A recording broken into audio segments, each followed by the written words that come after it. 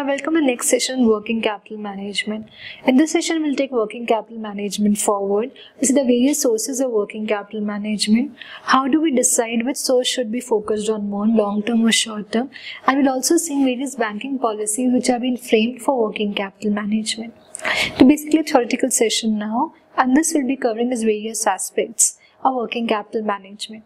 By the end of the session, you should be able to describe the various sources of finance for working capital requirements, explain the financing mix in working capital management, and describe the banking policies.